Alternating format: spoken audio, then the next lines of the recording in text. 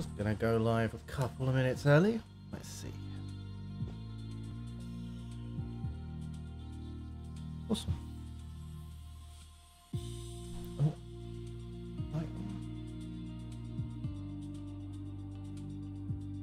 Okay, hi. Oh, I got three people watching apparently.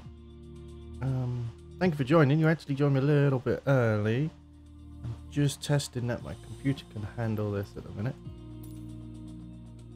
Get to see a little bit of a uh, little bit of setup.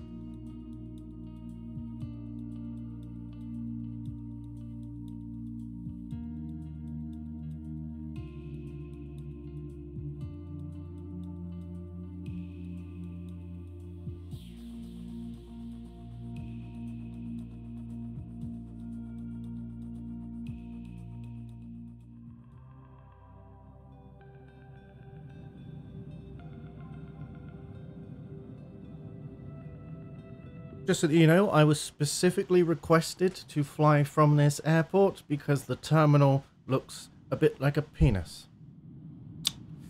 Yes.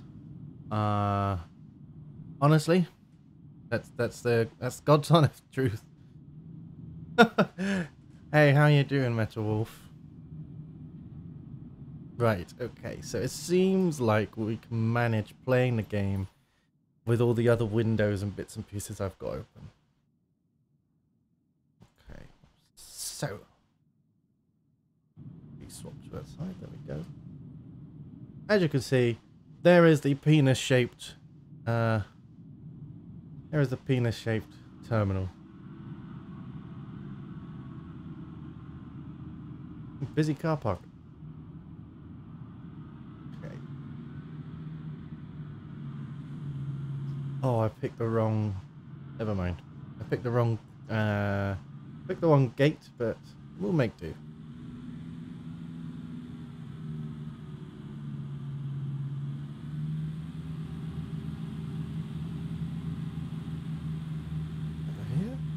I'm just going to wait to actually go live. Uh, I've got a tweet ready. Go out.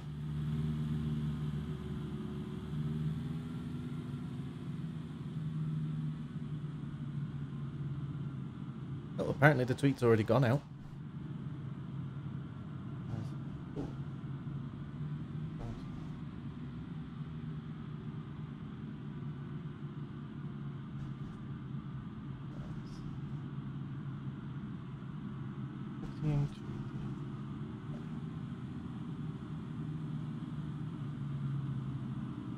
Okay. So it's a cold day today.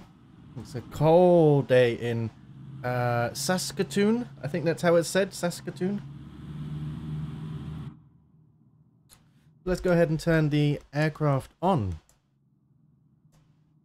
So let's turn our batteries on, connect to the outside power, make sure that these two generators are on, which they are. We are going to turn on the APU and get that started. Wait for this to say available.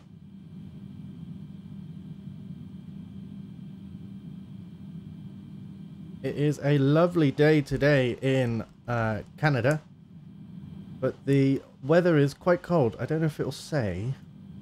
No, I need to turn some more systems on first but when I was playing it earlier, I was getting temperatures of minus 30, minus 40. So it should be interesting. Okay, so we've got the APU on, so we're going to go ahead and turn on the anti-ice and window heats. Got on the beacon light, nav light. Um, do we need any other lights on? Quite a sunny day today, isn't it? I don't think we need any more lights. I think we're all right. Oh, is it? Oh, but um, the temperature that I had was when I was about 16,000 feet into the sky, so uh, that might be why there's a bit of discrepancy. Uh, okay, so let's just check that we've got everything. Turn on our fuel pumps. May as well turn on our seatbelt lights. And I believe I should be able to just start the engine now. Yep, there we go. And I'll also go ahead, even though a pilot would never do this, um, I will turn on the other engine at the same time.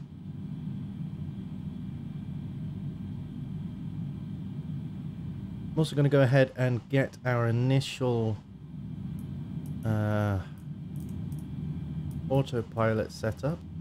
I already know the flight plan is going to be heading... Um, we're going to be using runway 9er. So I'm going to... All that's all set up. Set that up a little bit.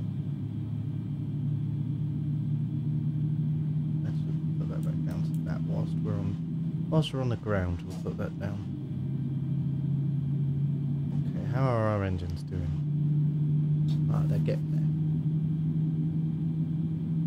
there. Getting there. Thank you all for joining. I hope you enjoy yourself. Don't forget, um, in case you aren't aware, later on I will be doing a presentation on the history of flight. I really hope you enjoy it. Look, there's another player over there. I can't quite make out what he's flying, but...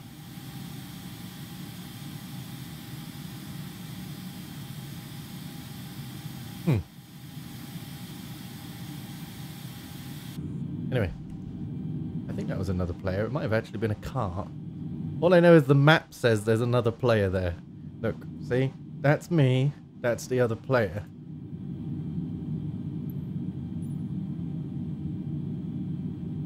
Okay, so I'm going to go ahead and tune to Winnipeg Radio. We're going to request IFR clearance. We've already got our flight plan built into the computer. Uh, there we go. We are flying from Saskatoon to Calgary. Flight should take roughly one hour, there, thereabouts. Um, and we are going to take a bit of an extended landing just so that we partially fly over the mountains because it is a lovely sight to see on this game, flying over those mountains. So, I'm going to go ahead and request IFR clearance. So, who am I calling? Winnipeg, um, Penguin 1123, request IFR clearance, flying Charlie Yankee Yankee Charlie to Char nope. Charlie Yankee X-ray Echo to Charlie Yankee Yankee Charlie. Winnipeg Radio Penguin 112 IFR to Calgary, ready to copy. Okay. Penguin 112 is cleared to Calgary Airport as filed. Climb and maintain 11,000 feet. Departure frequency is 133 decimal 1 squawk 4313. Clearance point 30 minutes from now. Okay, we'll read that back. I'm gonna ha go ahead. 112 cleared to Calgary Airport as Go filed. to Climb and maintain 11,000 feet. Departure is 133 decimal 1 squawk 4313. Clearance point 30 minutes from now. Penguin 112 tree read back correct. Okay, awesome. We're now going to tune to the uh, tune to the airfield that we're at. This is not a what's the word I'm looking for? This isn't a it, this airport isn't busy enough where someone will tell me when and where I can go. I declare things and they're recorded for um, collection purposes. Right, so I have to make sure I pick the right runway. Taking off runway 9. Going to taxi to runway 9. Saskatoon Traffic Penguin 1123 is taxiing to runway niner. Oh, whilst we're here, I almost forgot to do this. Those on to normal and disconnect from the external power. And we'll turn off the APU as well. We don't need that on anymore. Okay, because of how slow the uh, the pushback is, I'm actually going to go ahead and just use reverse thrust.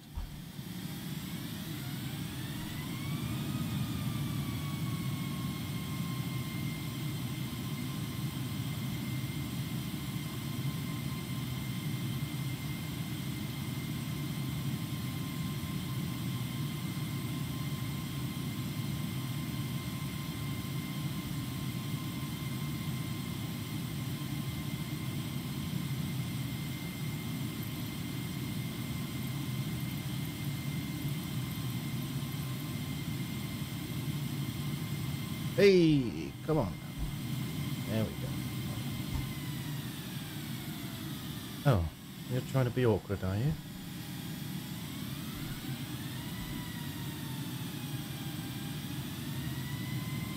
This is the first time it's made me taxi in this direction. Usually I taxi uh, uh, heading north, whereas this time it wants me to turn around and head south.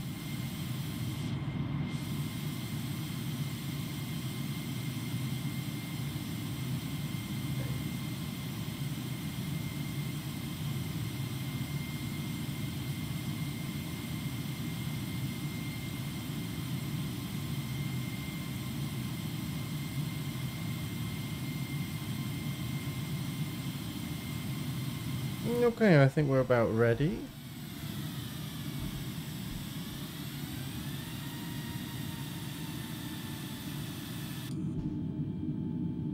Go ahead and get ourselves on the runway.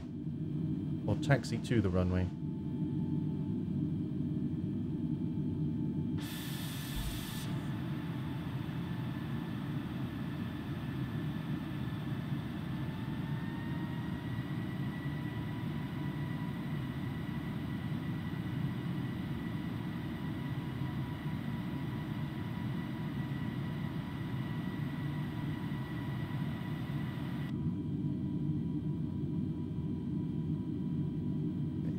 Go.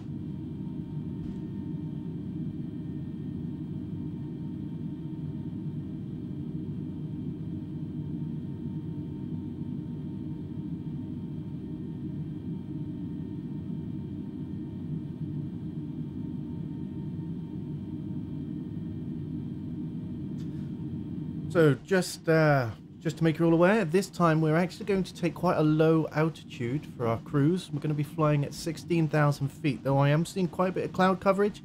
So if we end up inside the clouds, I will ask to reduce our... Saskatoon traffic, generic Sierra Lima, Quebec, 72011 miles, west inbound. I will ask to reduce our cruise altitude just so that you can see the wonderful, wonderful scenery. Saskatoon traffic, generic Sierra Lima, Quebec, 720 is on final runway, niner to land.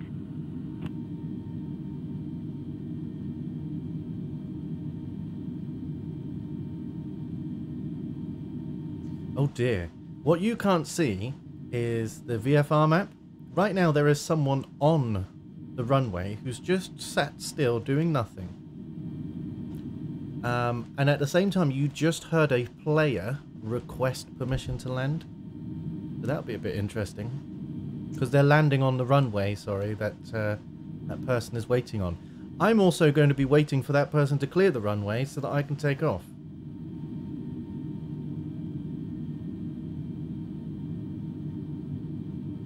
Also, after my many test flights, for some reason, it likes to make me travel down the runway instead of travel down this taxiway, which is specifically so that I can join the runway. Um, so I'm going to ignore the blue line. and We're going to go. We're going to use the correct route.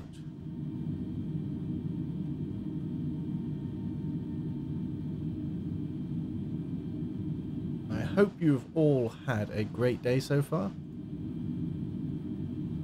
Well, don't forget, I, I have to turn the uh, I have to turn the quality down because I'm streaming. If I wasn't streaming, I could turn it up.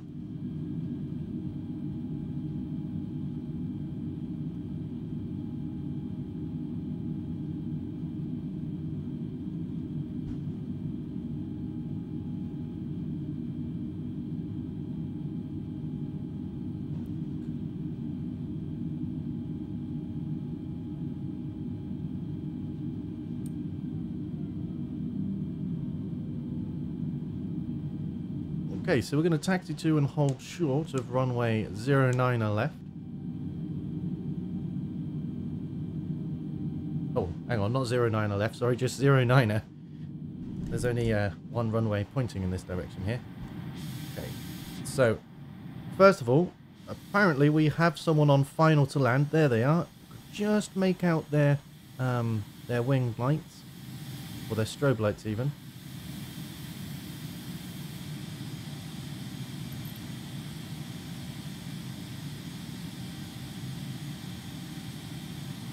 So the question now is, do I wait for them to land? Yeah, we'll wait. We'll let them land. We'll be kind. So what we're going to do then is I'm going to put on one notch of flaps.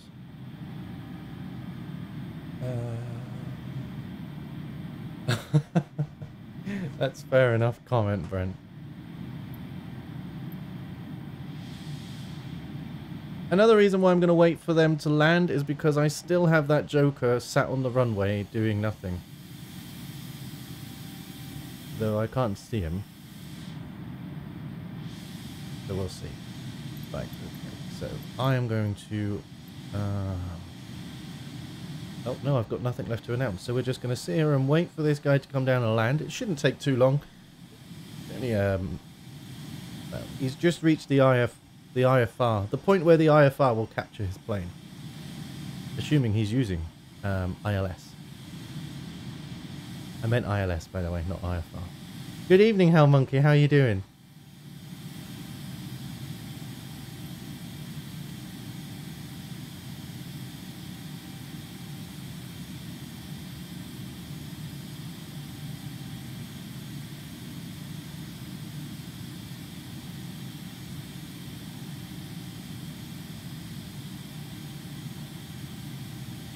Okay, so judging by my map, this guy has decided he doesn't want to land.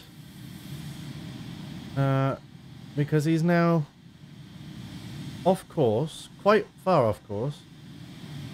I mean, he could still turn it around and bring it in, but I'd be surprised. Uh, yeah. Yeah, this guy has decided he's not going to come into land, which is a pain in the backside, because he's left me sat here waiting for him. Okay, so I'm going to depart straight out. Saskatoon traffic Penguin 1123 taking off runway 15 Oh, straight I'm not departure. taking off from runway 15. I told you I was taking off from runway 09. Saskatoon traffic Penguin 1123 taking off runway 9er straight out departure. Okay, there we go. Got a parking brake on.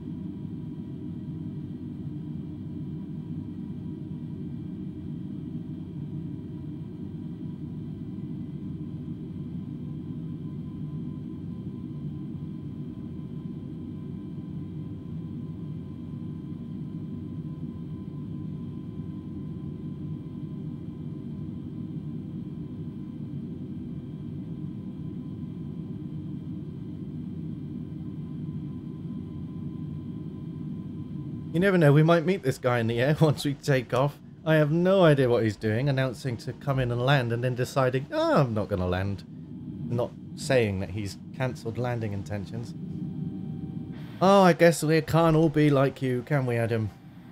Anyway, right, so we are now ready to take off. Let's just double check all of our systems are set up correctly. We've got our autopilot set up.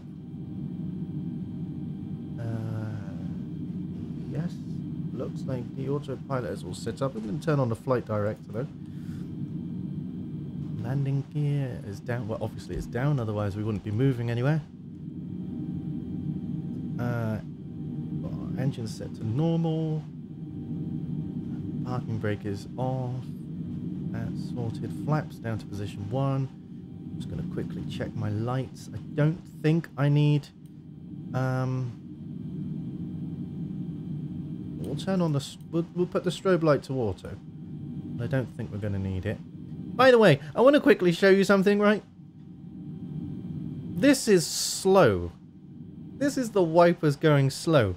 Since when was that slow? This is fast. Look at that. Anyway, let's get back on. Let's get back on track. Otherwise, we're never going to get to uh, Calgary. Okay, so we're going to start rolling.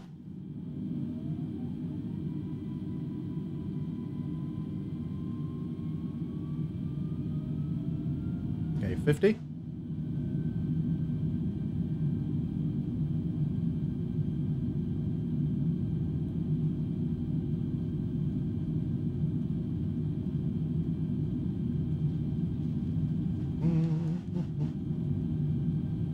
For some reason, this airplane is really pulling today.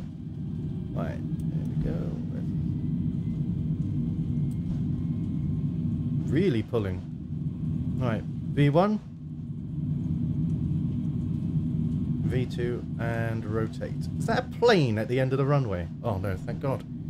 Okay, so we're going to put away our landing gear, turn on the autopilot, and we're going to put away our flaps. There we go.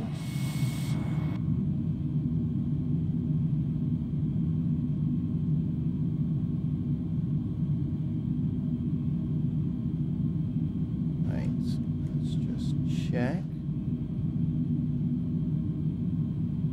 I'm going to go ahead and put this down into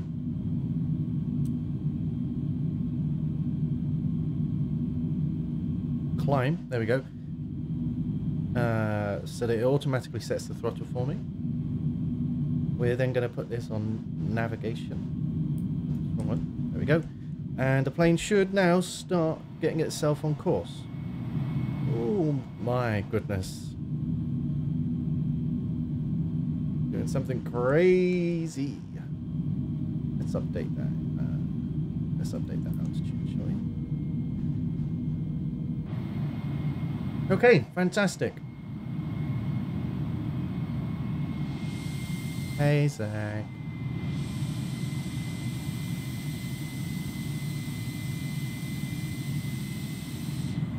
Wonderful. So we're up. I forgot to tweet out that we uh, are on the runway. Never mind. Saskatoon traffic, generic Sierra Lima, Quebec. 720 is on base runway niner. Winnipeg Center Penguin 112 tree is at 6,800 feet, climbing 11,000 feet. Penguin Right. 112 tree, Winnipeg Center. Continue as planned. Altimeter tree, 0 decimal 10.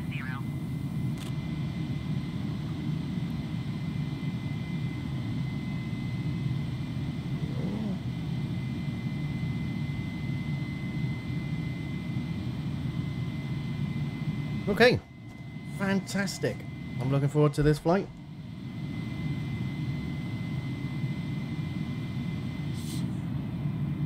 Let's see if we can spot our crazy friend. There he is. He's de- he decided to turn around. I show you. Wait. Okay. So he's now on the. He was on the base leg. Can't remember what this bit's called, but he's coming back in to try and land.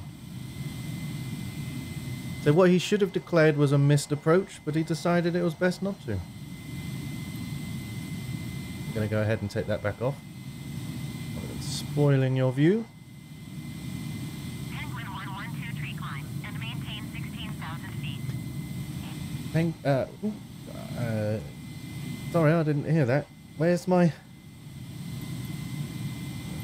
Uh, Winnipeg, uh, say again. Winnipeg Center Penguin 112 tree, say again. Morningstar 8067, you are tree 1 miles west. Descend and maintain 3,200 feet. Keep speed below 210 knots. Expect ILS runway niner approach via saddle transition. Cleared to saddle. Penguin 112 tree climb and maintain 16,000 feet. Climb and maintain 16,000 feet, Penguin 1123. Descend and maintain 4,000 feet. Keep speed below 210 knots. Expect ILS runway niner approach via saddle transition. Cleared to saddle Morningstar 8067. Climb and maintain 16,000 feet, Penguin 1123.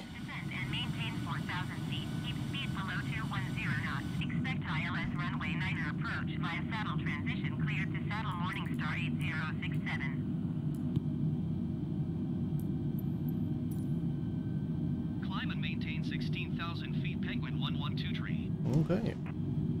Once we reach our cruising altitude, I'm going to set about five minutes um, until we start the presentation.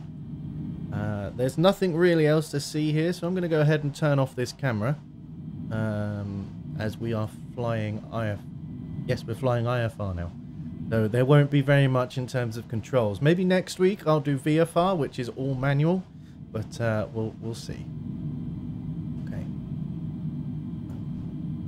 At least now you can just focus on the uh, the lovely scenery. If you were with me for my last flight, you would have uh, seen mostly water because we flew over the English Channel, then we flew over the part of the Atlantic Sea, I believe it was. No. And I think it was Atlantic. I don't know.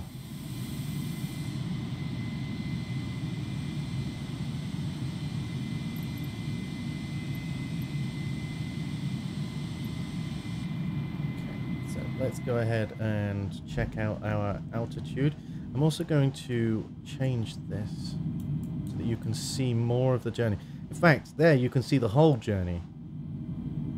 But uh, that's a bit too far for me.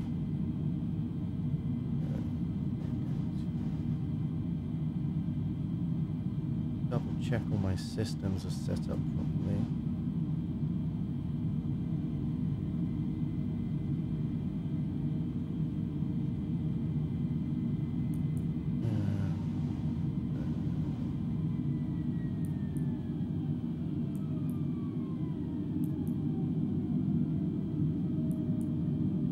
Final. So the minimum descent, minimum decision altitude.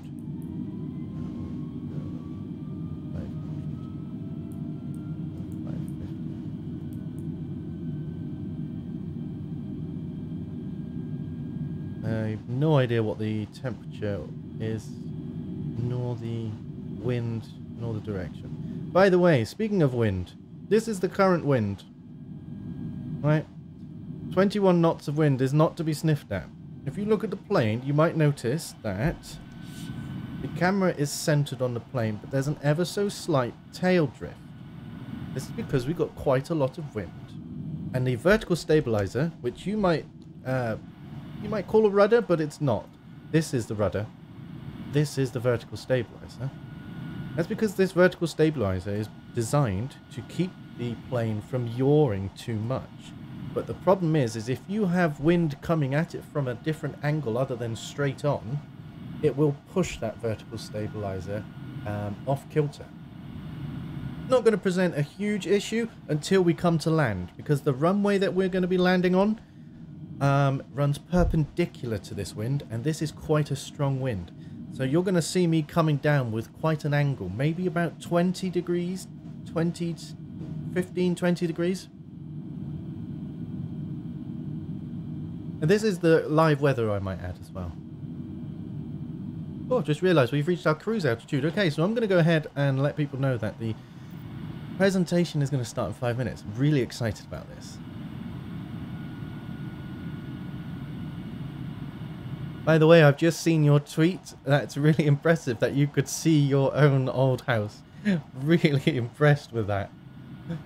Okay. Morningstar 8067, you are 14 miles west of Right, Saskatoon. yes.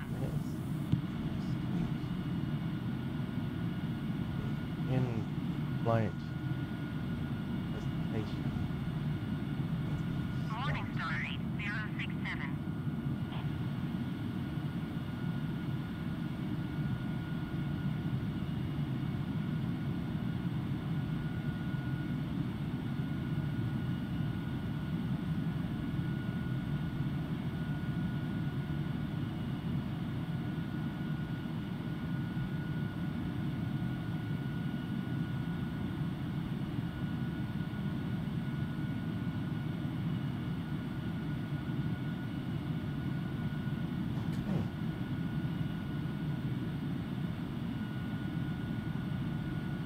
Okay. Yeah, I, I could try turning up the details on the game, but I'm not sure that that would work. Okay, so I'll tell you what, as it is 1756 here, right now, I'm going to go ahead and just say at the at the top of the hour, we'll go ahead and start the presentation.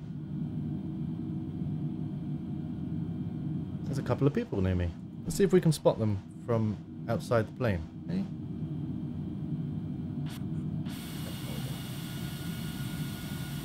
Let's make that smaller. You can see one is roughly in my airway. I'm not sure what his altitude is, but he's quite close to my airway. Very slow as well. And the other one is all the way over. Oh, there he is. We found him straight away. That little green dot there. Let's see if we can spot this traffic. Because whilst he might be slow, it does look like he's moving, and I don't particularly want to smack into him.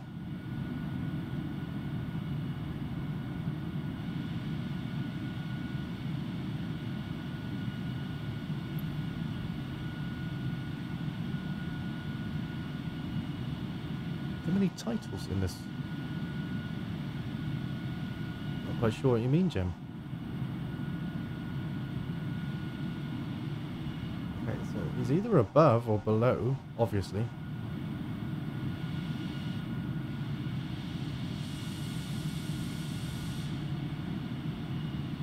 Oh, there he is. Oh, he's landed. I think.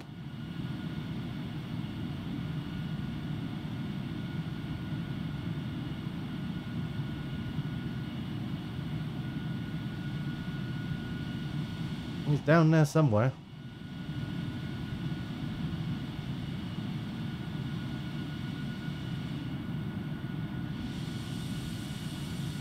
Oh, there he is. There he is. I don't know what he's flying, but it's incredibly slow. He might have uh, got himself like a microlight DLC or something. Oh, a lot of tiles. Yeah, so one thing I've noticed, and I wonder if Metal Wolf can help me out here, or maybe it's just America and Canada in general. What is going on with all these dead straight roads? What is this? Everywhere I look in this part of Canada, everything seems dead straight until you get to the odd one where they're like, uh, we need to go off a little bit, but then we'll go dead straight again.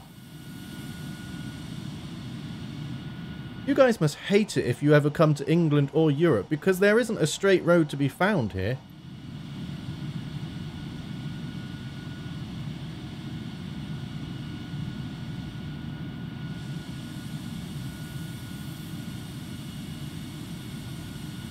As some of you might have seen, so I'm just going to quickly broach something. As some of you might have seen, I did request um, to use a video by the, that is owned by the BBC. Now they did reply to me, but it was just about giving me permission. It was about uh, sorting out potentially giving me permission. As it stands, within the last few minutes, they still haven't gotten back to me, so it won't be displayed during this um, presentation. Hopefully, I still have enough in this presentation to um, engage and interest you, but uh, yeah, it's definitely. Uh, I definitely want to try and get it into a, a later presentation.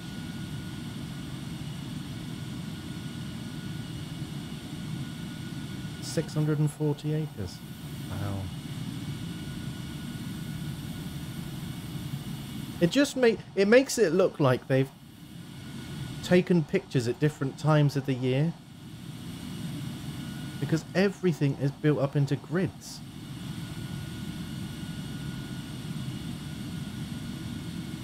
Oh, okay. I've just realised we have just we have just crossed the uh, top of the hour.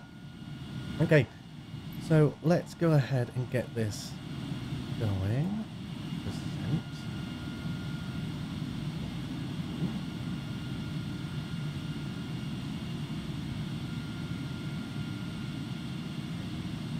Bear with me. I just need to tell. Penguin 1123 contact Winnipeg Center on 132 decimal 8.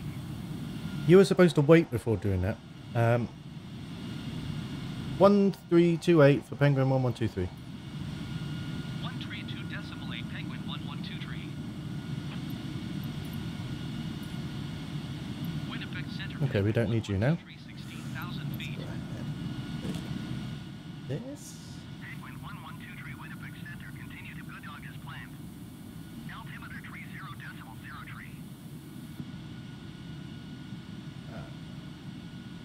I just realised I turned off everything that I needed to be on. Okay, so we're going to have to go ahead and do... I'm going to go ahead and have to do this. Like this. Okay, there we go. Oh, that was scary. I lost I lost you for a moment then. Okay, so in the background, the flight is still going on. Please let me know if it's too loud.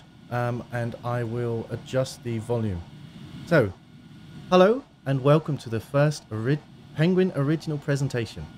We'll be going over the history of flight, covering some key areas of interest and innovation. For those who are watching this presentation live, please feel free to leave your questions and comments in the chat and I'll return to them at the end of the show.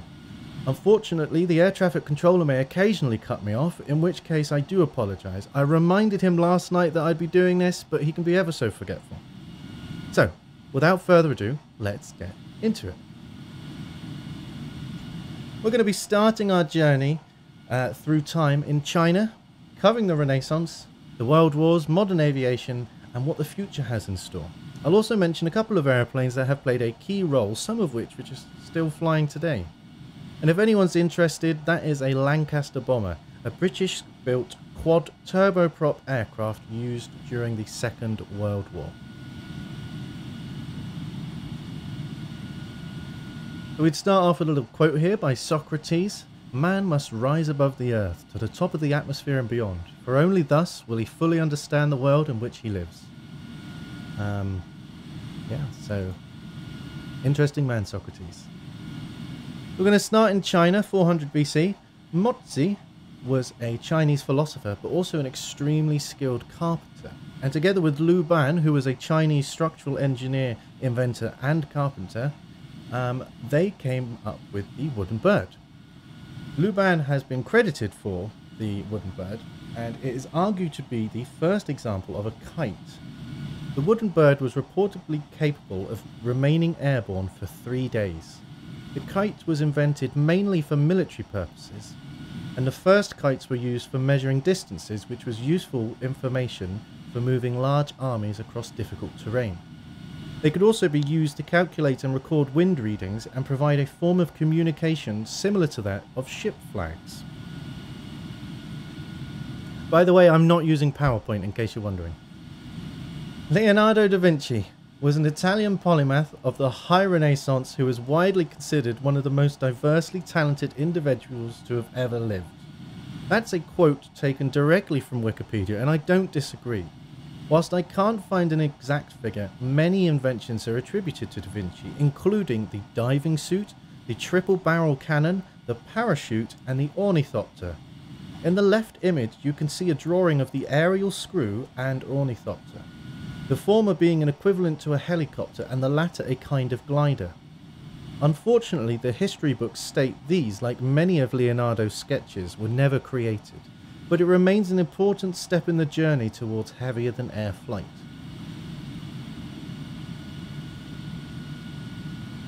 Over in France in 1783, I apologise for the pronunciation if I get it completely wrong, brothers Joseph Michel and Jacques Etienne Montgolfier were inventors of the first hot air balloon.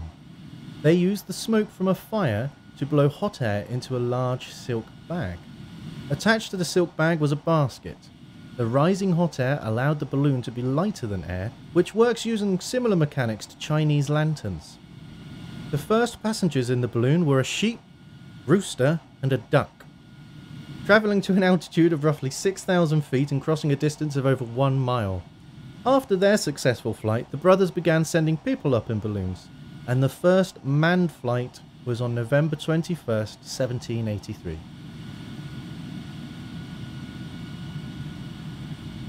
Now heading over to Germany, Otto Lilienthal is hailed to be the first successful aviator. His research was on birds and aerofoils, and he founded the science of wing aerodynamics and laid the foundations for concepts still used in modern plane design. His research is what inspired the Wright brothers to build many gliders and the allegedly first powered flight, but this topic is to be broached shortly. Otto is credited with being the first man to successfully build and use gliders to extend unpowered flight. He took inspiration for his glider designs from the various birds he studied from childhood. Across his life, Otto completed over 2,000 flights in over 16 types of glider. He met his unfortunate end when he stalled and broke his back, and he died the next day. So that brings us to the end of the pre-aviation era. We covered kites and their uses, Da Vinci's plans for heavier than air flight, hot air balloons and flying sheep, and gliders. The next section covers the birth of modern aviation through to the current day. Each decade during the 20th century could be a documentary of itself, so I will only be scratching the surface. Search Google for the birth of aviation, and you'll no doubt get told it started with the legendary Wright brothers and the Wright Flyer. As this is an important point in the history books, I'm going to quickly cover it, but know this you've been lied to. Orville and Wilbur Wright, two American aviation pioneers who were credited with the world's first successful motor operated aeroplane. In this picture, you can see Orville piloting with Wilbur running alongside the Wright Flyer 1. This picture was taken on December 17, 1903. By October 1905, uh, with the Wright Flyer number 3, they had managed to stay airborne until the plane ran out of fuel, for a total of 33 minutes and 17 seconds. The Wright brothers' first flight was only 12 seconds. On the other hand, Gustav Whitehead reportedly maintained one and a half minutes of sustained, powered, heavier than air flight two years prior in 1901. There was no photographer present during the day, but there were three reporters, two of which followed the flying machine on their bicycles. Strangely, it didn't make front page news, instead appearing on page 5. The credit for the image here goes to the Wright brothers official website. It is currently accepted by many that Whitehead, that excuse me, Whitehead was in fact the first person to maintain powered heavier than air flight.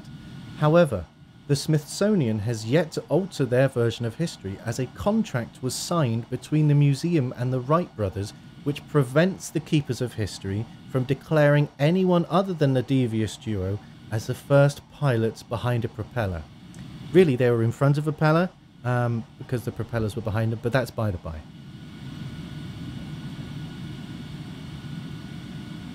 Not long after the invention of heavier than air flight, I struggle pronouncing this name, Guizhou Riche successfully created a gyroplane, which is a type of helicopter that was capable of lifting a person a whopping 60 centimeters from the ground. The image you can see here is a model representation of the real thing. And as you can see, its design was pretty impractical. Luckily, in the same year, Paul Cornu made a helicopter with less rotors.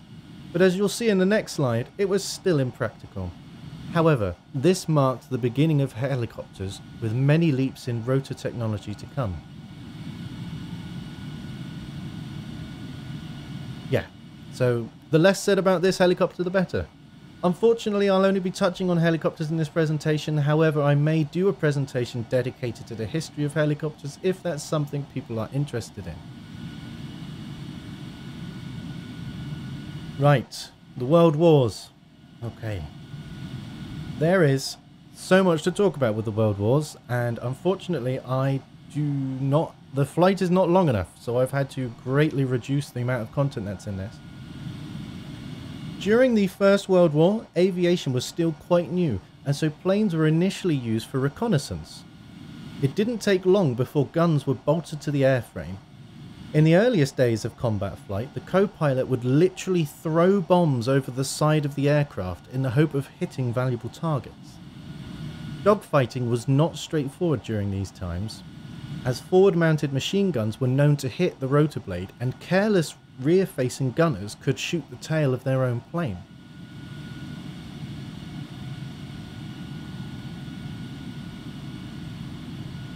During the Second World War, trench based fighting was much less common. This was partly fueled by the innovations in aviation.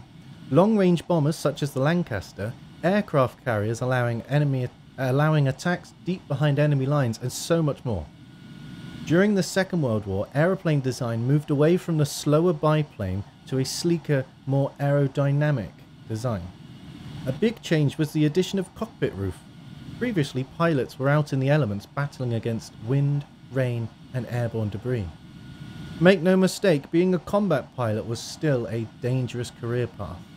Also, I'd like to take this moment to make a special mention of the Antonov A40. Yes, that is a flying tank. But more correctly, that is a gliding tank. Why have you decided not to go full screen anymore? There we go. As we leave the Second World War behind, I'm going to touch on a couple of aircraft that have significance to me personally.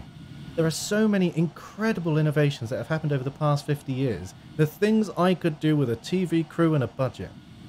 Anyway, the first of these notable aeroplanes is the Lockheed C-130 Hercules. Taking its first flight in 1954, this incredibly engineered plane is still active today. There are over 70 variants of the C-130 and over 2,500 of these planes have been made. I will be covering the Herculean... Contact Edmonton Center on 133 decimal Ah. Bugger. Uh, 1 tree tree decimal 45 for penguin 112 tree. One tree tree. Apologies. Four five penguin one one two tree. Edmonton Center penguin one one two tree sixteen thousand Okay. feet. Uh, oh, I forgot to get the... Center continue as planned. Altimeter tree zero decimal There we go. I forgot to get the uh, thing back up. Right. I will be covering the Herculean turboprop later in, in a later presentation, including the infamous rocket-assisted landing. Heading over to 1957, the short SC-1 was the first fixed-wing aircraft to be ca- capable of vertical takeoff and landing. The most famous fixed-wing aircraft capable of this is the Harrier jump jet, but that didn't come about until 10 years later in 1967.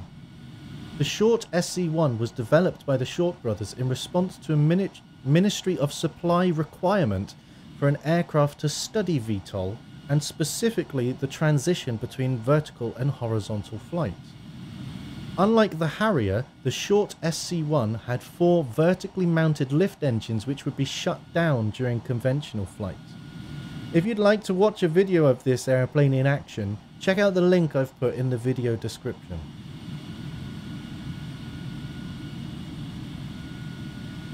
Nineteen sixty-nine. 1969 was probably the most important day in all of human history. It was the first time man stepped on extra terra firma. It was when we as a species visited the moon, accomplishing incredible feats of engineering and learning new things about the solar system and our place within it. However, this is a presentation on aviation, not aerospace. In the same year, Cord- uh, Concorde took her maiden flight. Concorde was the first supersonic passenger commercial aeroplane, capable of travelling Mach 2.04, which is 1,354 miles per hour. That's twice the speed of sound.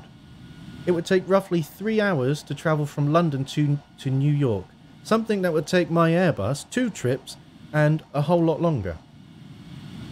The costs to develop Concorde were so great that when the final plane was retired in 2003, it still wasn't profitable.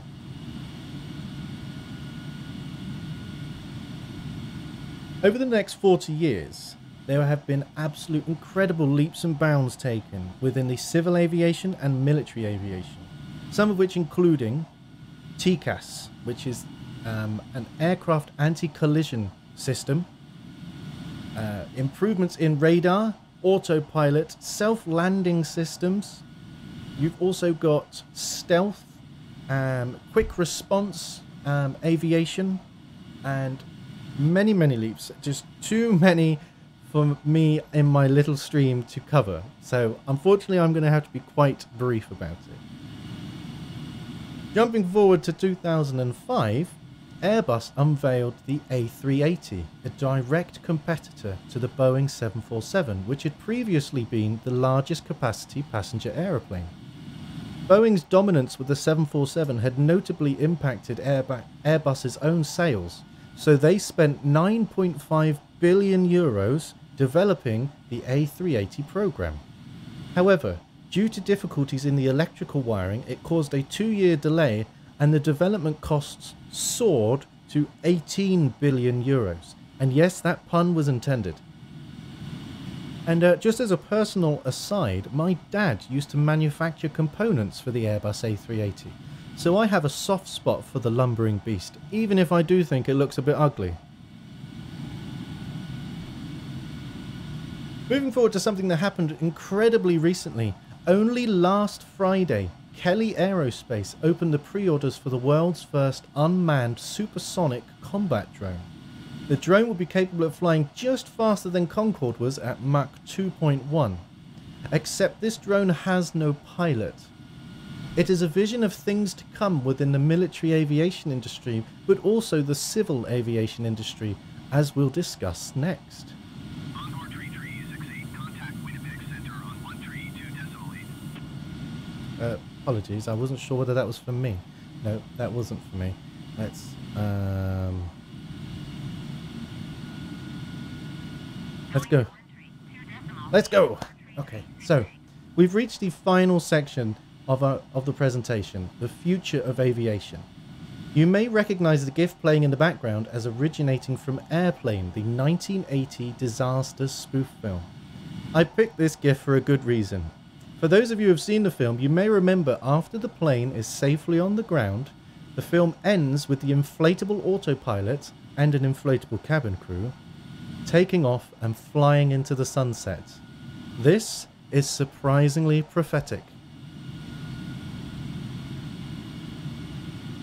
In a document presented to Parliament by the Secretary of State for Transport holds the future of aviation. That being automation, electrification and data collection. Within the report it says 70% of commercial aeroplane incidents are born as a result of human error.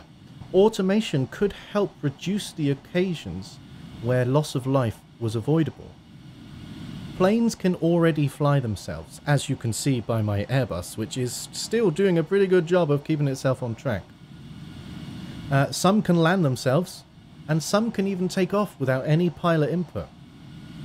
I personally believe that the future of aviation will require all aircraft to be capable of flying without a pilot in the cockpit. Moving on to the electrification. As we attempt to tackle climate change, one obvious area of improvement is the millions of tons of greenhouse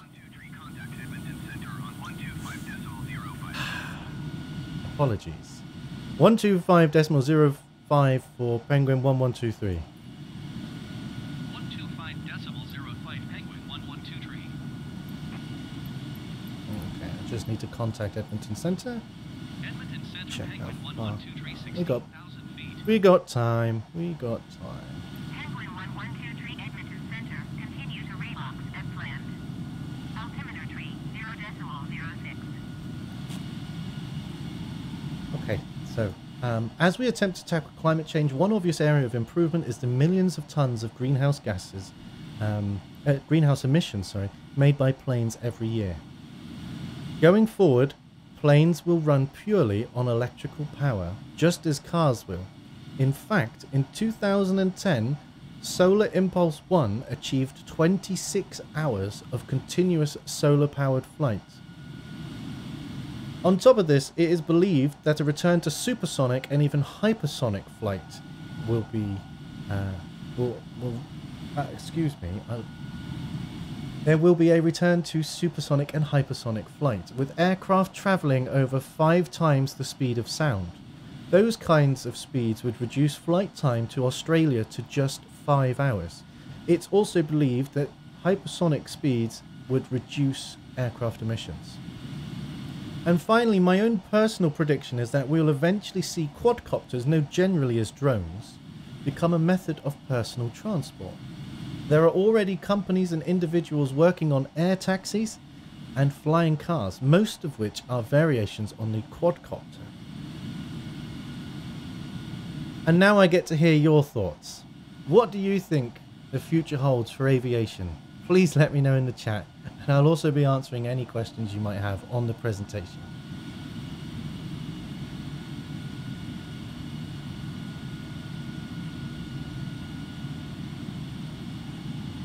And meanwhile, I'll be having a drink.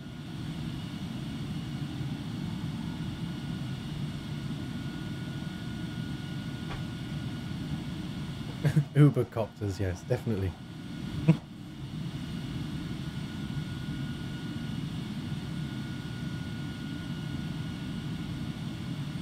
um, I'm going to give you a couple of minutes just to uh, add anything that you might fancy. Better check on the flight as well. Would the captain like a cuppa? Uh, no thanks, I've still got a drink. Okay, so... I'd like to thank you for joining me in the first... Oh, I've just realised that I've got the wrong screen up. I'd like to thank you for joining me um, in the first Penguin original production. Please leave your feedback in the live chat or comment section as I'd love to know what you thought about the presentation. I'm now going to flick back to Microsoft Flight Simulator and continue with the Charlie Yankee X-Ray Echo to Charlie Yankee Yankee Charlie flight plan. That is Saskatoon to Calgary. Thank you very much. And to answer your question, Hell Monkey, yes, I, I definitely am. Because as I was learning about some of the areas of um, World War One and World War Two history, I I was blown away by all the crazy things that happened during, uh, especially World War Two. There was a real 302 contact Edmonton Center. there was a real push for innovation, uh, including flying tanks. I mean, that tank. So what happened was that tank actually existed, and it was meant to be towed by an aircraft, uh, the largest Russian aircraft available at the time. I can't remember the name, unfortunately. And um, what happened was the tank was causing so much drag, the tow aircraft had to um, ditch the glider that it was attached to um, because it could not gain altitude. But reports say that the tank at that point continued to glide and made a gentle landing all on its own, which is incredible. And since then, they have made tanks that are capable of being dropped from airplanes and stuff like that. Oh, Obviously, we're not talking about airplanes now, I'm specifically mentioning tanks, but that's just one example. There are also aeroplanes that take off. Uh, how do I say this? Where where most aircraft look like this when they've landed, you know, they, they lay horizontal.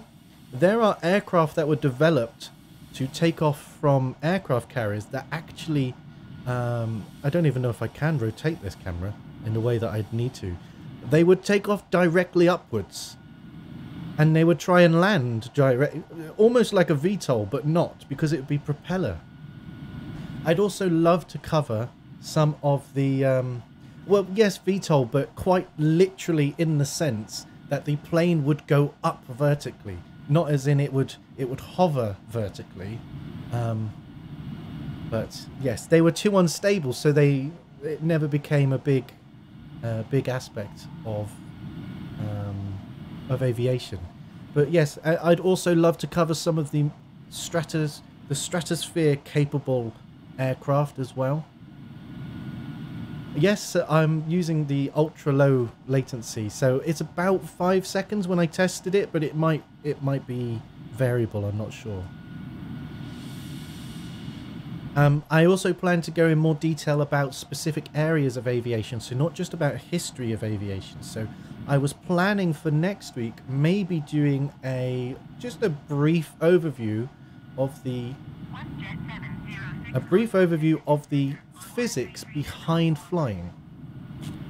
But uh, yeah, so make sure you leave your feedback on the presentation um, because that lets me know what to do for next time.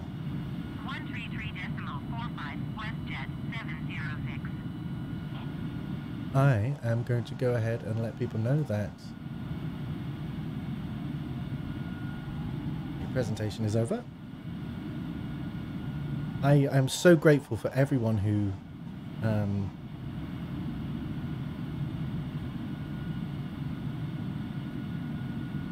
Yes, definitely. The, with the Harrier jump jet, yes. Um, I remember the first time I saw a Harrier jump jet. It was at an air festival. I think it was at Yeovil, possibly. I believe it might have been Yeovil.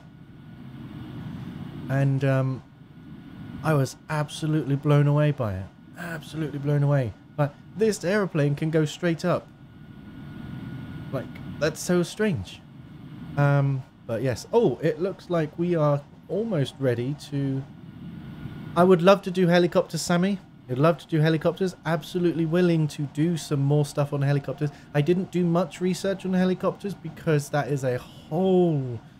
That's a whole nother can of worms that um, I would love to visit specifically another day. Um, what was I doing? Oh yes, I was going to send out a tweet to let people know. Okay.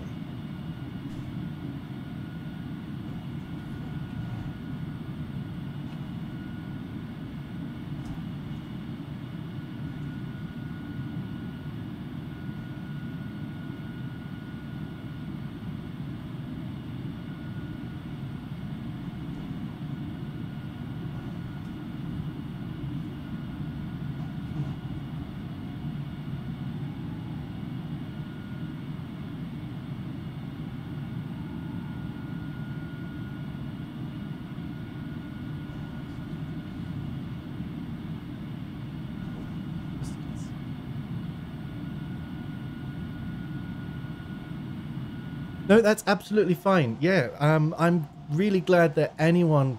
Uh, I'm really glad that I've helped anyone learn something new today, and that it's been interesting. I've really enjoyed doing this. I've, it's been wonderful, absolutely wonderful, and uh, yeah, I'll definitely try and sort something out for next time.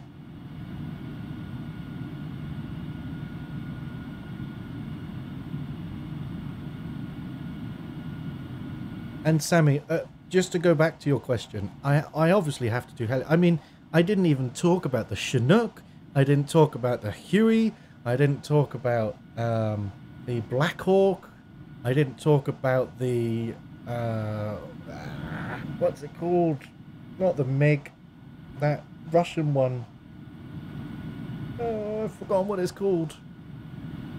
But yes, I would definitely be doing a presentation on helicopters specifically and the history of helicopters.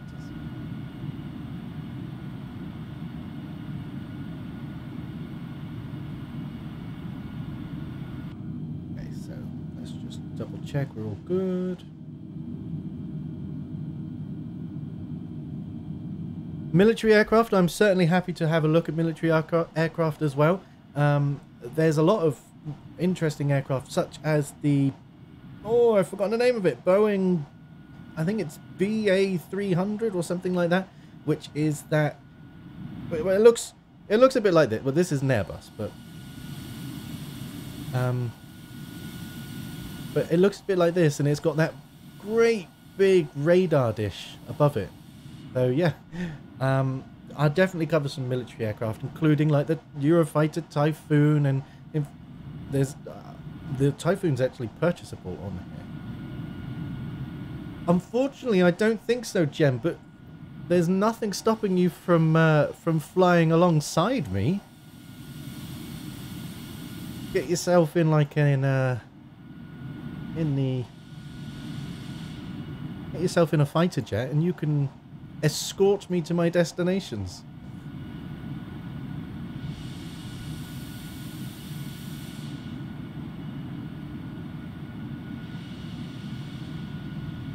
So I'm going to go ahead and check the wind again because... Oh my goodness, it's picked up. We're looking at 30 knots of headwind. Flying to me. I'll have to make sure I turn collisions off. So I believe... Calgary should be coming up soon. The, the, the city of Calgary should be coming up I believe it's over there.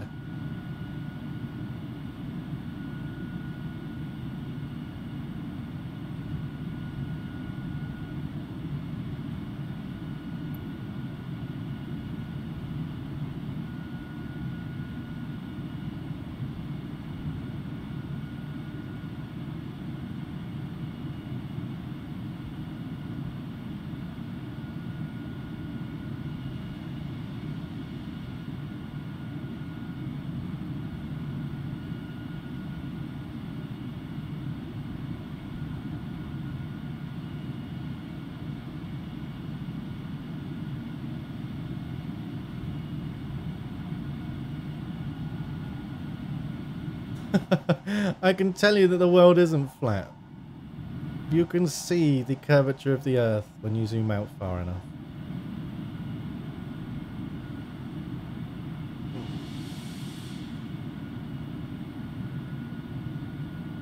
And even if I zoom in, you can just about make out the curve.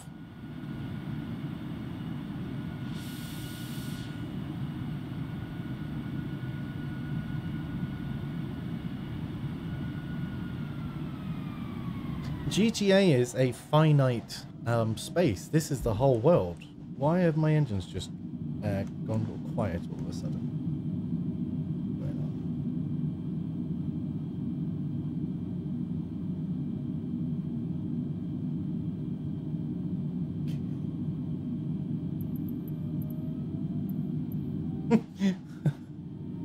I I couldn't I couldn't answer that question, I'm afraid, Vivi. Um, so I've just worked out why the engine it went idle. It didn't die. Um, the engines went idle because um, I reached the target altitude, which apparently I wasn't at before. So it slowed down to the cruise speed of 240 knots, whereas the climb speed is set on here. Climb speed is Oh, I can't. Some reason it doesn't want to let me see. Well, the climb speed isn't 240 knots, that's all I can say.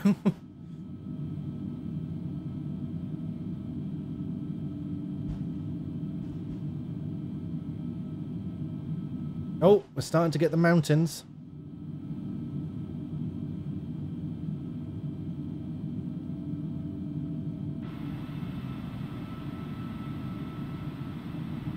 So I think I might turn on my uh, camera in a bit. Now, in case you haven't seen on Twitter, we have got roughly 20 minutes, uh, a little bit less now, until we should be on the ground. Oh no, apparently, according to the, my in-flight computer, we got half an hour until we're on the ground. Oops. Someone forgot to turn off his Steam notifications.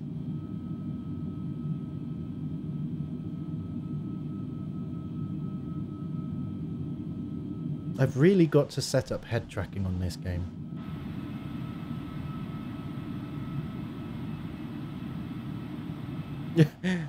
you know you can you know internet goes all the way up to satellites, don't you?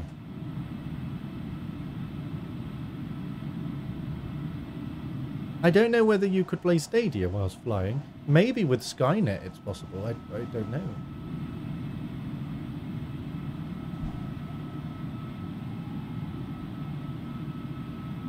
Also, just a heads up, as I get closer to the airport, the game does something strange where it keeps handle it keeps making me contact people multiple times.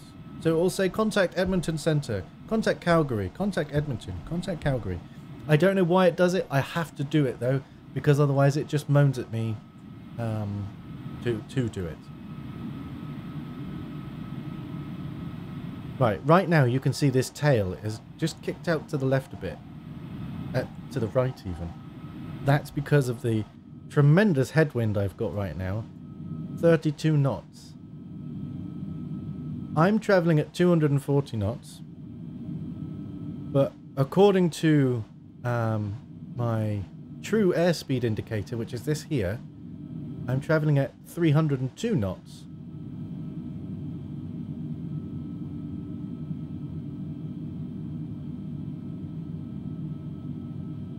Look at this. The mountains are coming. Honestly, it's such a beautiful sight seeing these mountains.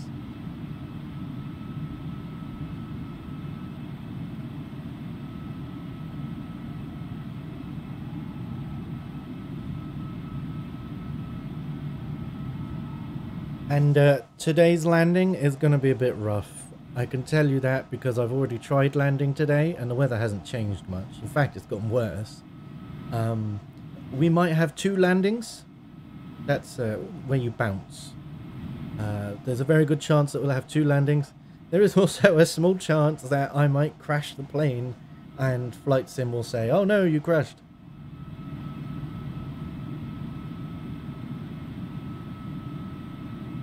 Penguin 112 contact Edmonton Center on 133 decimal tree.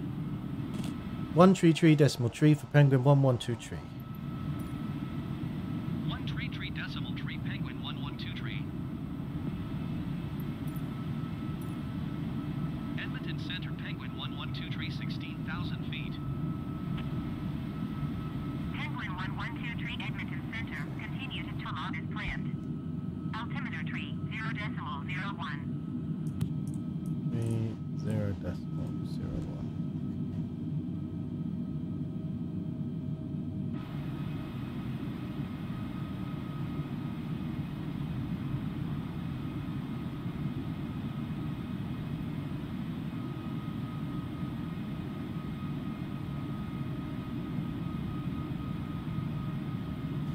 Strangely, we haven't got anyone around. Anyone else flying? Oh no, there they are. They all just popped in.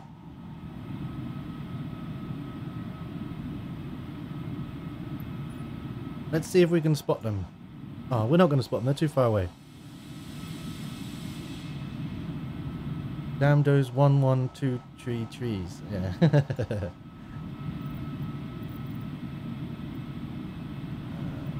no, I'll leave the I'll leave the aircraft name off just in case.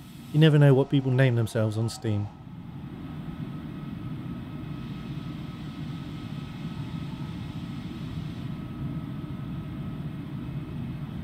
Morningstar 8059er. Uh, contact Edmonton Center on 125 decimal 05. Ooh, we got a bit of turbulence. Going to 125 decimal 05 Morningstar 8059er.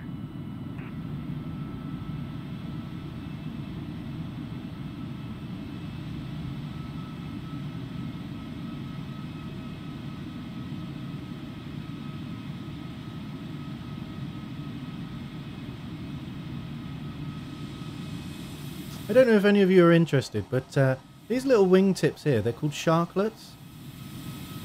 And they were designed specifically for the Airbus A320. Um, and they reduce drag. Because what happens is when you fly a plane, these wings will flex.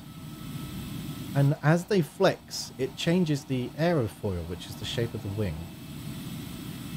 And um, these prevent it from flexing as far, which means it reduces the amount of drag and increases the fuel efficiency. So where it says unbeatable fuel efficiency on the side, it's true. I don't believe there is a more more fuel efficient passenger airliner out there. Hey Ruben, thanks for joining, and thank you all for joining. If I haven't mentioned you by name, I apologise, but uh, I really appreciate you all being here, and I hope you're enjoying a a slightly different stream to what you're used to. I imagine.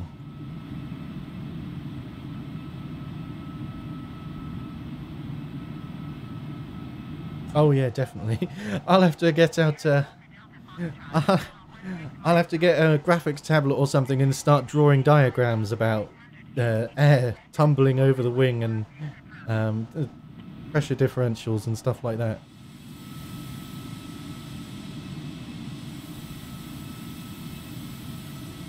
Descend and maintain 5,600 feet. Expect vectors. Visual runway 16 approach. Generic alpha. Okay, so I believe that is the town of Calgary. Well, that's the city of Calgary, I believe.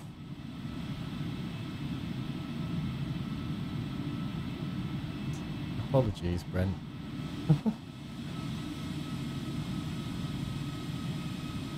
I could be wrong. That might just be a little village. It might be that Calgary's actually over there. I, um, I'm a bit turned around. Especially considering I've never been to Canada, other than digitally.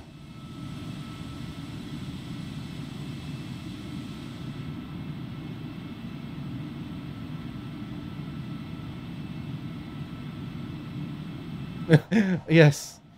Thank God it's upside down, Sammy. If it was the other way round, uh, the all the F1 cars would be taking off. They go fast enough too.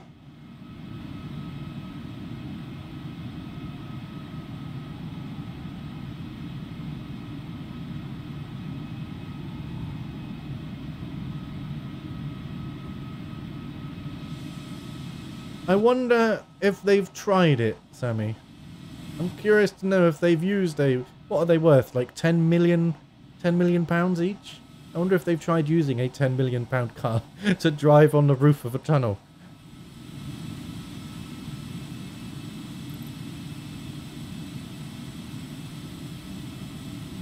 So yes, this this must be Calgary because as you can see, it's quite built up. Um, as we get towards our approach stage, we'll start descending, and you're going to see more of them. And it starts to look, you can already start seeing it. It starts to look a bit like a hedge maze, in my opinion.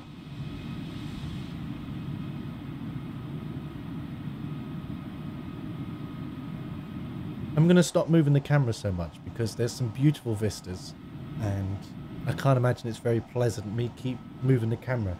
Um, just out of interest, if anyone can tell me, is this stream available in 1080p 60 or or is it not?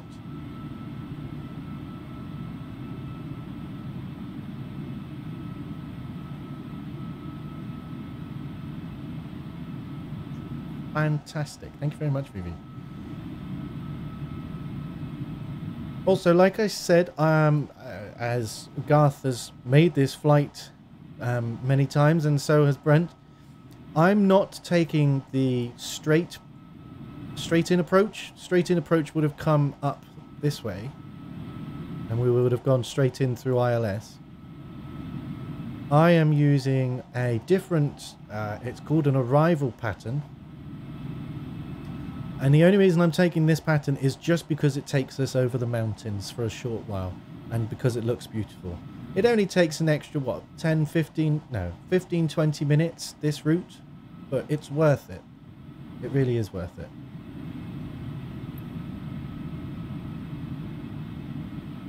Uh, I'm using 10,000 10,000 kb kilobits? 10,000? I think I'm using 10,000 kilobits.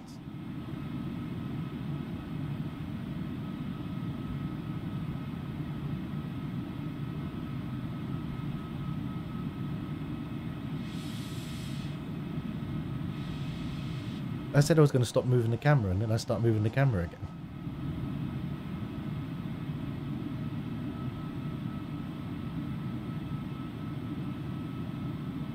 This airport's actually getting quite busy.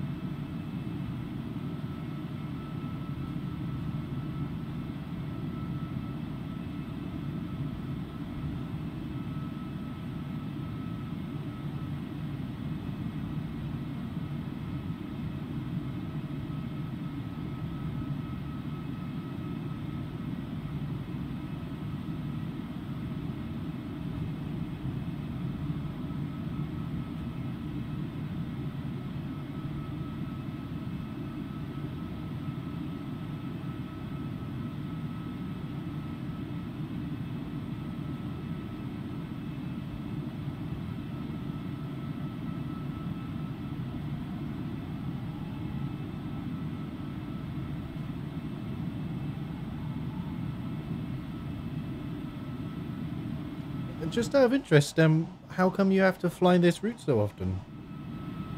If that's not being nosy. Well, it is being nosy. If that's not being too personal.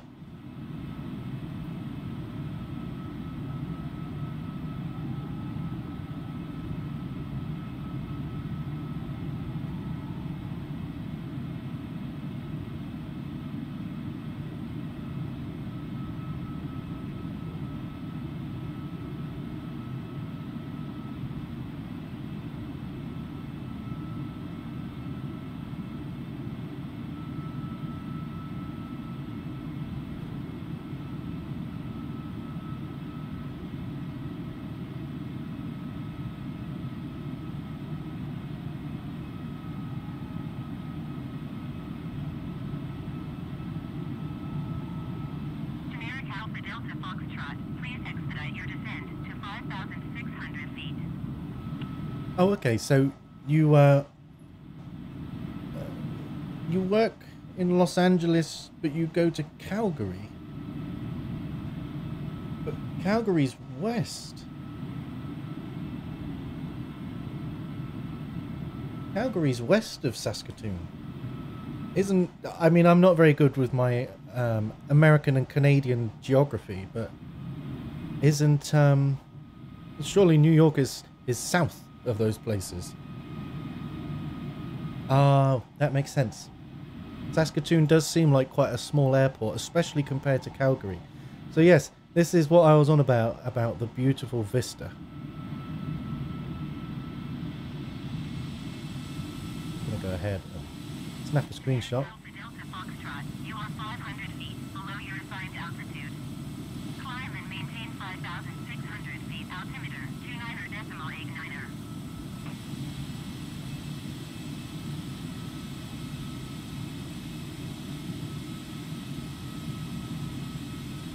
Climb and maintain 5,600 feet. Generic Alpha Delta Foxtrot.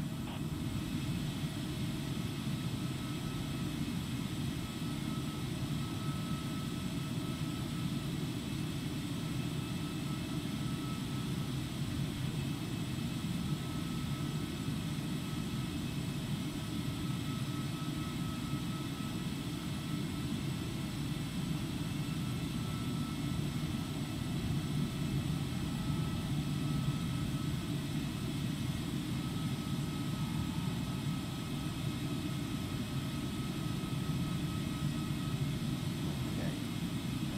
Keep that one out.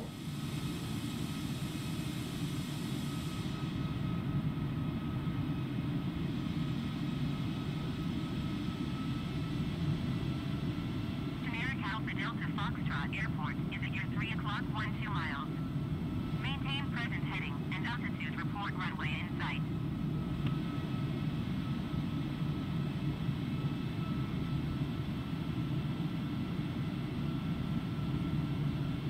Maintain present heading and altitude. Generic Alpha Delta Foxtrot. Generic Alpha Delta Foxtrot runway in sight.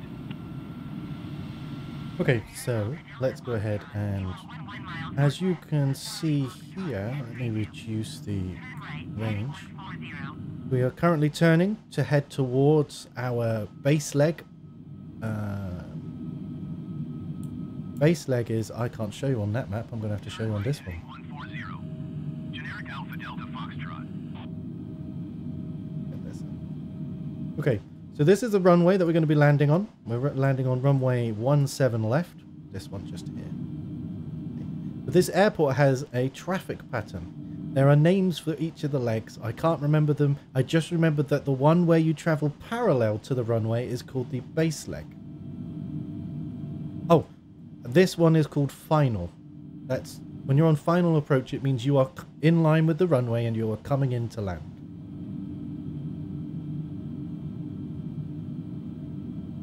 And we are just about to start turning. We will start descending around this waypoint. So roughly when we're in line with the airport. And take this out of the way.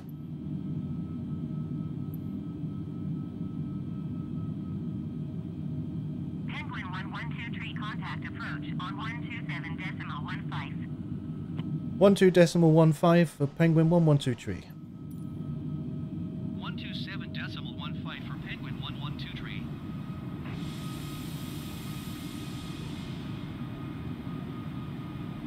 Oh, I forgot to actually tune to that to that frequency.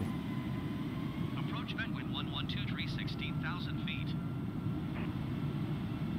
Penguin 112 tree approach. Continue to orbit as planned. No worries, Sammy. Have fun.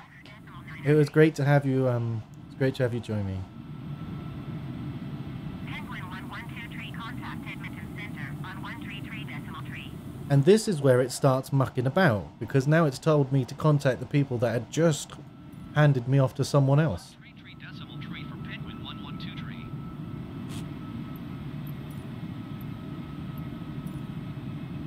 Edmonton Center Penguin 112 tree 16,000 6,000 feet.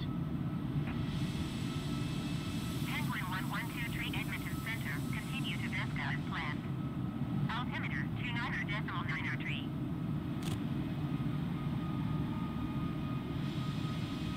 Oh, that turbulence is getting bad. I'm getting a bit shaky. See, that, that there is turbulence. That's what a plane looks like when it hits turbulence. I think one of the main influences of that is the fact that we've now got a 36 knot tailwind. oh my god, Brent. I appreciate I appreciate your um your faith. Your unshaking and unwavering unwavering faith in my ability to land this this beast. Though I, I will point out, 30 knots is faster crosswind than I've ever landed a plane in before. It might even be an idea to change which runway I land in. I'd much rather land on a short runway. Ah.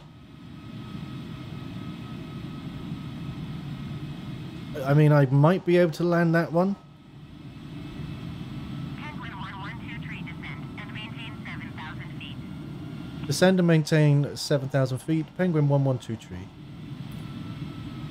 Descend and maintain 7,000 feet. Penguin 112 tree. Penguin 1123 descend and maintain 7,100 feet. Okay. Descend and maintain 7,100 feet. Penguin 1123. Descend and maintain 7,100 feet. Penguin 112 tree.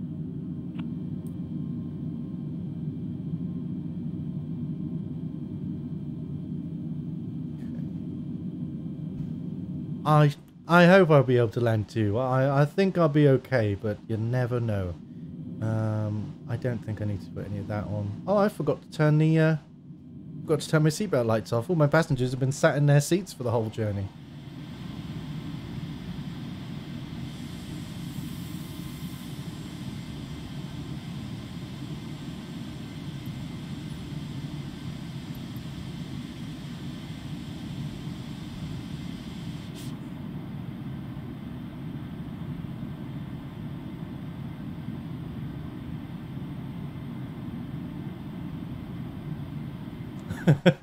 it's only been an hour. To be fair, I've I've needed uh, to pee for a little while now. Contact 127 decimal 15. One two seven decimal one five for Penguin one one two tree. Going to 127 decimal 15 Penguin 112 tree. Okay. Calgary approach, Penguin 1123 with you at, I don't know my current altitude, with you at 14,200 feet, descending to 7,000 feet.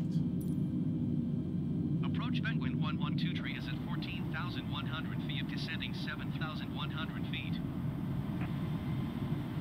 Penguin 1123 approach. Continue to Navon as planned. Altimeter 29 decimal 903.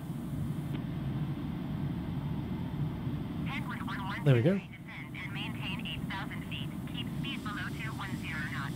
There's Calgary. Descend to maintain 8,000 feet, keep speed below 210 knots, Penguin 1123. Descend and maintain 8,000 feet, keep speed below 210 knots. Penguin And here is the hedge maze town layout. I can't do a loop in this plane now. I would I would destroy the plane. I would overstress it and it would end the game. I'm afraid. I'm gonna go ahead and take a screenshot of this. That bit.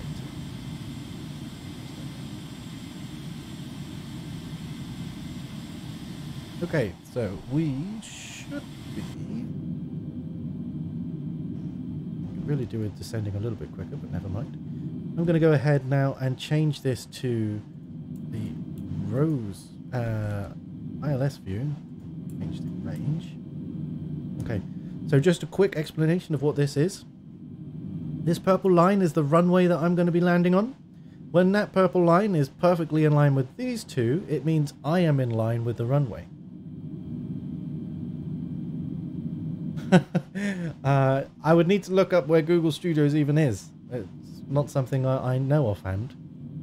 Um, the other thing that has changed is you'll see these five, well, four dots and a line. Oh, there's the little bit of purple. That is my glide slope. And I'll be aiming to get the purple diamond exactly in the middle.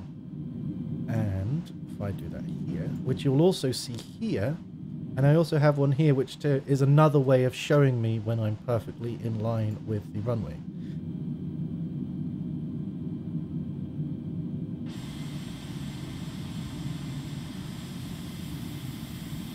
This looks like something I would make on City Skylines, this um, city layout. I love it.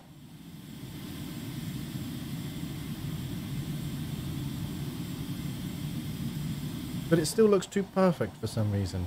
Like, like these perfectly straight roads.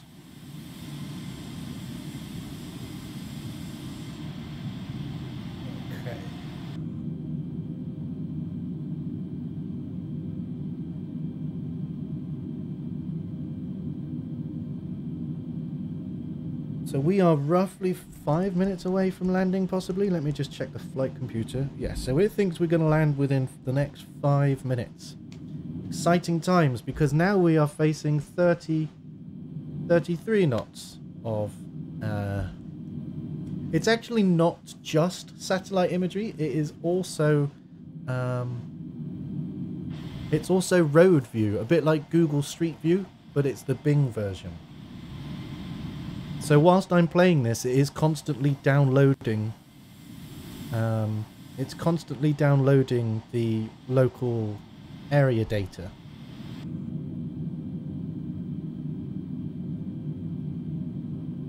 Hey Nathan, how you doing? Thanks for joining. We're oh, I forgot to mention on my Twitter that we are about to land. 123 descend and maintain 7,100 feet. Descend and maintain 7,100 feet. Penguin 112 tree.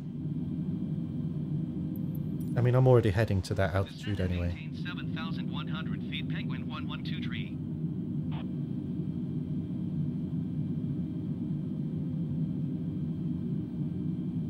We will be landing in five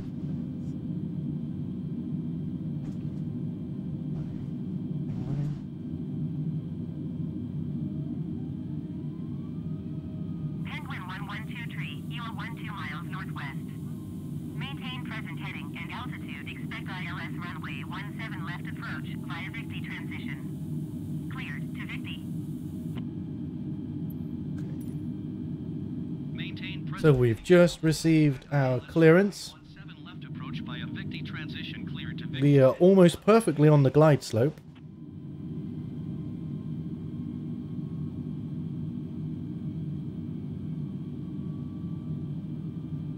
Uh, no, I'm not going to do it just yet. Not just yet. I'm Gonna wait until we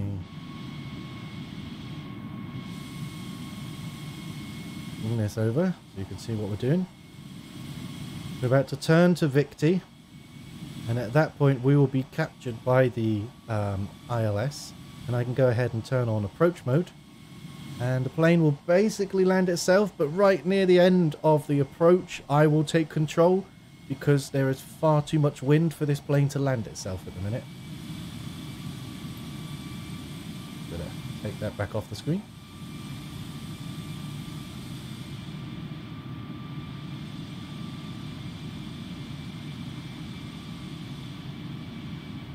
We're making our final turn onto the... Oh, we're making our turn onto final.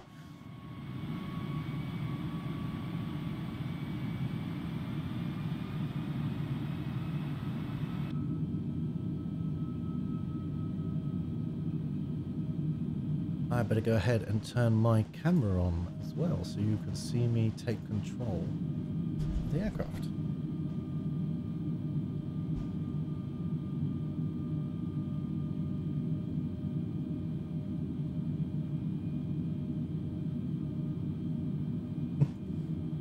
Well, there's there's there's every chance that I will crash if I'm honest.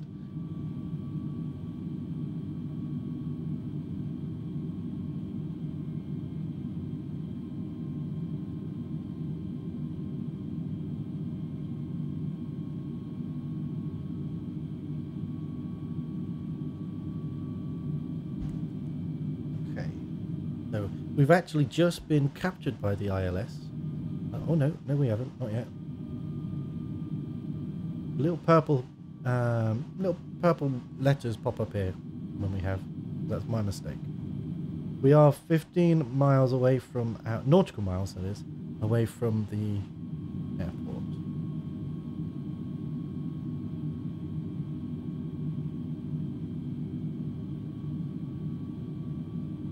Penguin 112 tree descent and maintain 5,800 feet. 5,800 feet, Penguin 1123.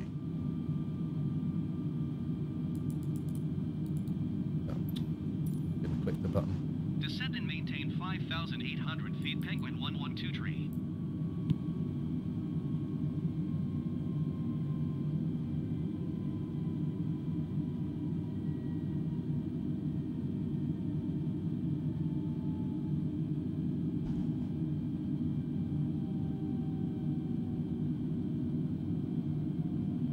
Oh, we got traffic. He came out of absolutely nowhere. Hopefully he's not in our way.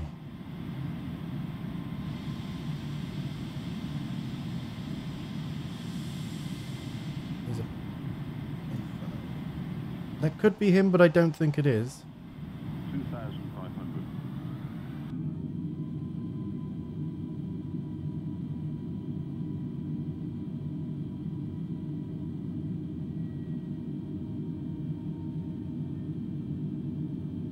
So I'm going to go ahead and press the approach key. Okay, so we are on the glide slope now. And we are almost perfectly in line with the runway. So if we look ahead, we should see the runway. There it is. Those tiny little flashing lights just there. So I'm going to go ahead and put some flaps on. To be fair, we should have already had the landing gear down. That's naughty Adam.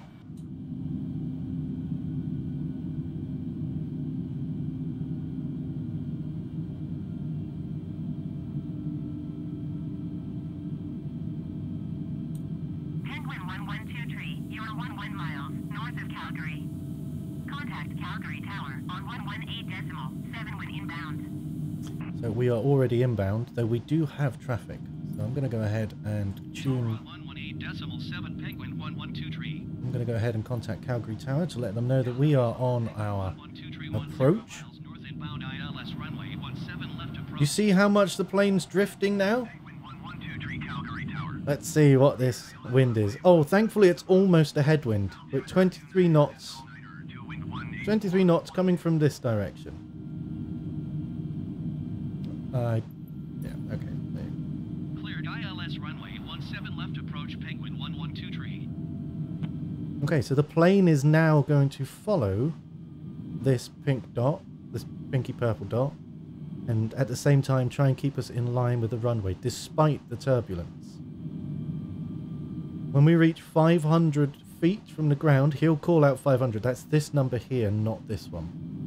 When we reach 500 feet from the ground, that is when I have to decide whether we go ahead and land or whether we go around. 12 tree cleared to land runway 17 left. Wind 184 at 12. Cleared to land, runway 17 left. Uh, Penguin 112 tree. Cleared to land runway 17 left Penguin 112 tree. I did put the flaps down, didn't I? Because it doesn't look like it did. Yeah. it did. Okay, here we go. 1,000. We're at 1,000 feet.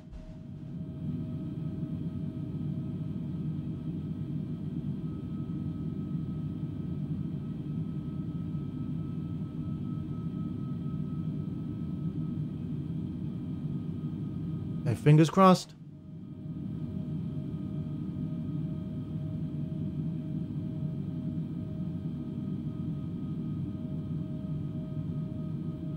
Okay, we're at 500 feet. We are dragging quite a bit, but I'm going to go ahead and we're going to land this plane. So that's me disconnecting the autopilot. I'm going to idle the engines. Pull back slightly because I don't want to come in too hard. 200.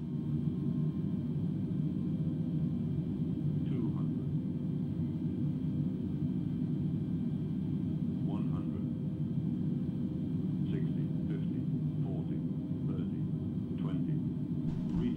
we're going to go full reverse.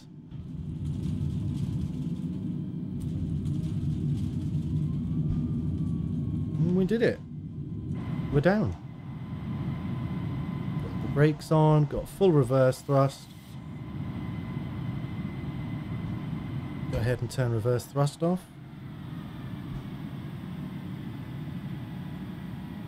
Turn next taxiway. Come on, tell me to turn.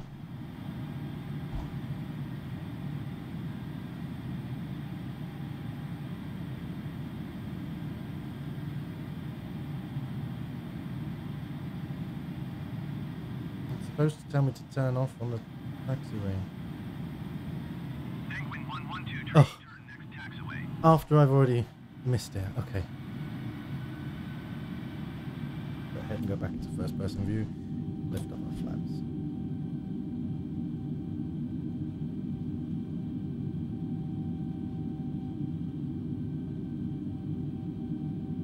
I'm sorry you didn't get to see me crash. Be fair, the plane hasn't been turned off yet, so it could still happen. 112 tree contact ground on 125 decimal three, 5.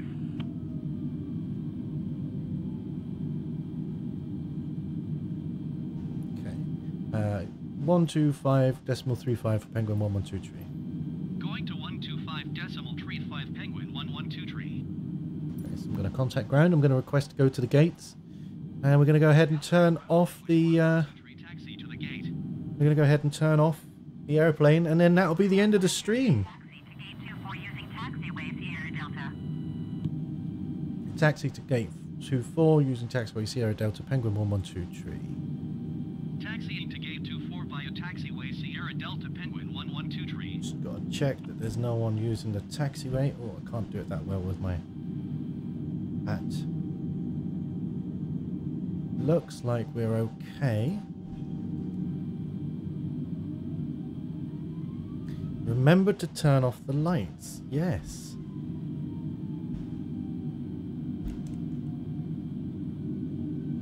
Okay. So, the seatbelt light stays on.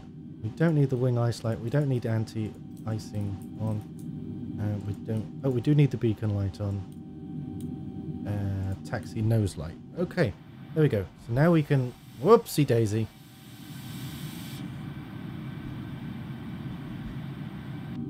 of course that happened. That's embarrassing.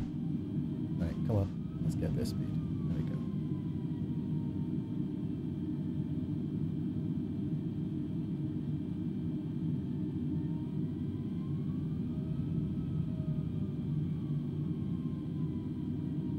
Well, in fairness, Vivi, there would be a co-pilot turning the lights off. I have no choice. Planes like these are never flown solo. There's too many systems to look after for one person.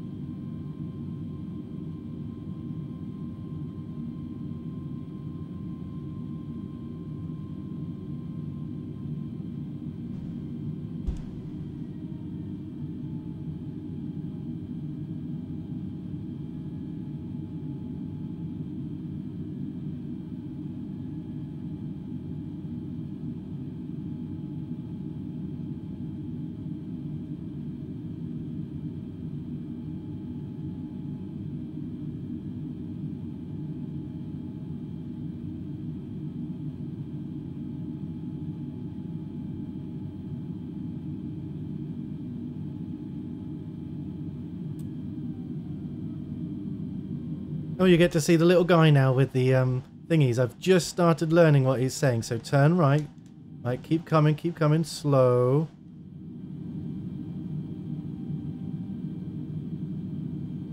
Oh, he wants me to keep going a bit more.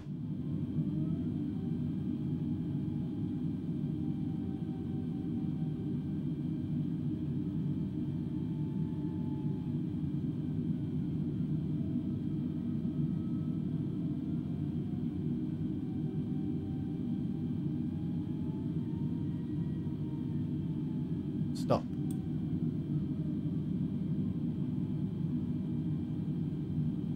Okay, I'll go ahead and put the parking brake on.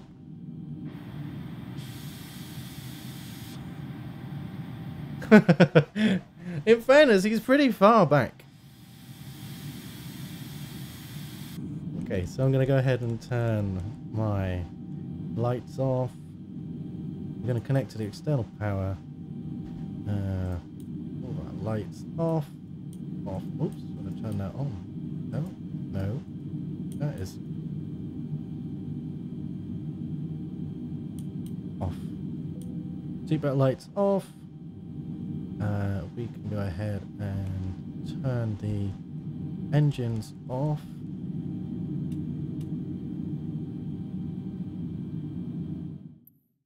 Oh, there we go. That ended a bit quicker than usual. Usually it lets me turn the power off, but um, yeah. I uh, I'm really pleased with how it all went. I really appreciate all of you who stopped by to watch the presentation and just to watch any part of the flight. Uh, I can't wait for next week's. I haven't decided what I'm doing next week, but I I might do VFR in something a bit smaller. Uh, but we'll see. We'll see. Maybe it's a surprise. Um, please leave some feedback on the presentation, whether on my Twitter or as a comment on the video. Um, but yeah, I guess that's it. Thank you very much. I haven't got a, I haven't got an effective way of ending my streams yet, so uh, I guess I'm just gonna have to say goodbye, and I'll see you next time. Bye.